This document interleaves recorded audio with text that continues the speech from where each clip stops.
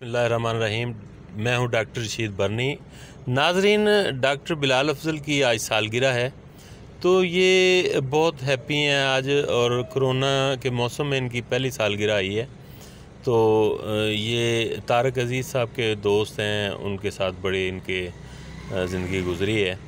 तो उनकी डेथ पे भी इजहार अफसोस कर चुके हैं पहले इससे। तो आज नाजरीन नमाज़ जनाजा पे भी उनकी पढ़ी थी। तो नाजरीन, ये चूँकि लिखते भी हैं तो आज शायरी के हवाले से इनसे बात करेंगे। डॉक्टर बिलाल अफजल साहब, आप कब से लिखना शुरू किया?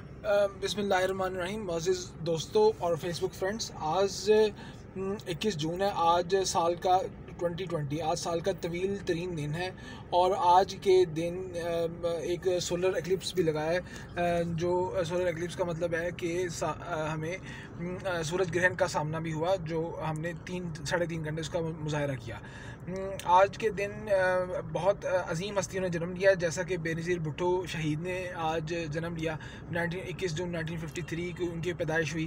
और आज के दिन जून के दिन में ही वसीम अकरम ने जन्म लिया वो पैदा हुए। और लाहौर में बड़ी अजीम शख्सियात हैं ऐसी, जिनको मैं गिनवा सकता हूँ, जिन्होंने जून के दिन में पैदा हुए। आज दो, जोडियक साइन, दो हॉरोस्कोप साइंस हैं, जो आके मिलते हैं। कैंसर और जेमिनाई आज के दिन आकर इक्कीस जून को मर्ज होते हैं, एक दिन में आके मिलते हैं। तो आज का बड़ा स्पेशल दिन है स्पेसिफिक दिन है। मैंने इक्कीस जून 1986 को लाहौर में ही, लाहौर के एक मकामी अस्पताल में अपनी आँख, अपनी वालदा मोहतरमा की आगोश में खोली और वो बहुत खुश थी मेरी पैदाइश पर बल्कि पूरा पूरा ख़ानदान खुश था कि एक फ़र्जंद अर्जुमन की पैदाइश उनके आगोश में हुई है। मैंने अपनी स्कूल की बाकायदा तलीम का आगाज़ government central model school lower mall से किया, जहाँ से बड़े बड़े अजीम हस्तियों ने पढ़ा हुआ जैसे मौलाना तारिक जमील साहब हो गए, जुनेद जमशेद हो गए, वसीम अक्रम हो गए वो जो government central model high school में, वहाँ से मैंने आगाज़ किया।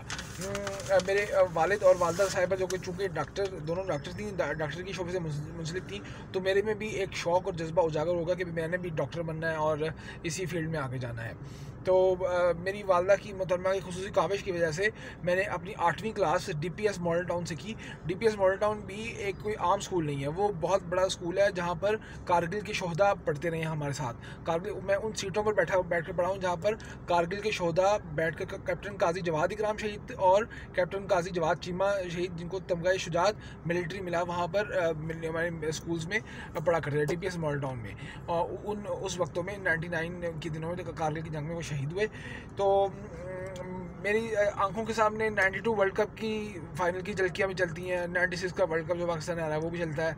99 का वर्ल्ड कप जो कि वसीम अकरम के आज में हारा, वो भी चलता है।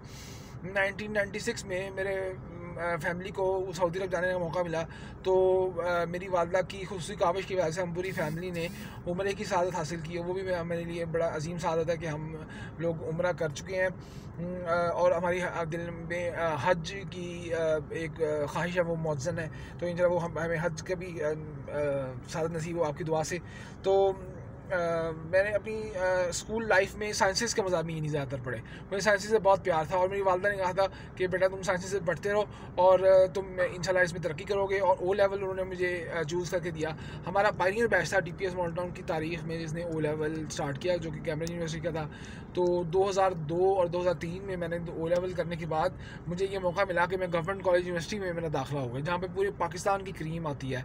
वहाँ पूरे पाकिस्तान के स्टूडेंट्स आते हैं जो कि लाहौर बोर्ड में और जो कि board of intermediate secondary education Lahore board में टॉप करते हैं फिर वहाँ से मुझे आगे मेडिकल कॉलेज जाने का मौका मिल गया मैं F M H college of medicine में मेरा एडमिशन हो गया और मैंने फ़र्स्ट प्रोफेशनल पास किया फ़र्स्ट प्रोफेशनल के बाद second professional third professional university of health sciences से पास करने की बाद फिर अब आजकल मैं नवाज़ शरीफ सिक्योरिटी हॉस्पिटल में डिपार्टमेंट ऑफ़ रेडियोलॉजी में जॉब कर रहा हूँ और ये मेरे ये एक एजाज़ की बात है मेरे वाल साहब भी सोशल सिक्योरिटी हॉस्पिटल में एनेस्थीसिया के रेसिडेंस के फ़राइज सनम अंजाम दे रहे हैं और मैं वहाँ पर रेडियोलॉजिस्ट के फ़राइज मुल्तान रोड पे social security hospital Multan road पे फ़राइज सनम नाम दे रहा हूँ। मैंने कुछ शायरी लिखी है आज के दिन के हवाले से। अच्छा डॉक्टर बिलाल शायरी आपकी बड़ी फ़ेमस हुई और बहुत लोग आपकी शायरी हाँ। सुनते हैं।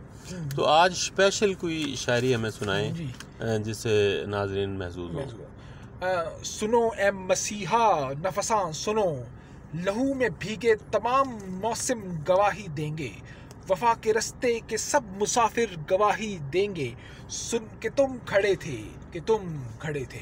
शहर का सूरज गवाही देगा, कि जब अंधेरों की कोख से निकलने वाले ये सोचते थे कि सब मसीहा डॉक्टर कोविड 19 की वजह से मर चुके हैं, कि सब मसीहा डॉक्टर कोविड 19 की वजह से मर चुके हैं, तुम खड़े थे। तुम खड़े रहो, तुम खड़े थे। तुम्हारी आँखों के ताकचों में ऐसी आँखें भी इन आँखों ने कम देखी हैं। तुम्हारी आँखों के ताकचों में ऐसी आँखें भी इन आँखों ने कम देखी हैं। रूह के दर भी हों और रूह के दर भी हों और पर्दा दर भी हों। खुद ही ऐसी आँखें भी तो इन आँखों ने कम देखी हैं। तुम्हारी आँखों के ताकचों में जलते चिरागों की रोशनी ने नई मनाजिल हमें दिखाई, ने दिए हमने चलाए सुनो हम नफसा, ए मसीहा, सुनो हम नफसा, ए मसीहा। आज अपने क्योंकि फादर्स डे भी है। मैंने मैं फादर्स डे के हवाले से एक छोटी सी एक नज़म लिखा है। नज़म लिखी वो भी ज़रा वो भी ज़रा मुलायजा कीजिए। अज़ीज़ तर मुझे रखता है, वो मुझे रगे जहाँ से। ये बात सच है कि कम न था, कि कम न था माँ से। वो माँ के कहने पर कुछ रोब मुझ पर रखता था यही वजह थी कि मुझे चूमते झिझकता था मेरा बाप। वो आशना रहा मेरे हर कर्ब कर्ब से हर दम जो खुल के रो नहीं पाया मगर सकता था।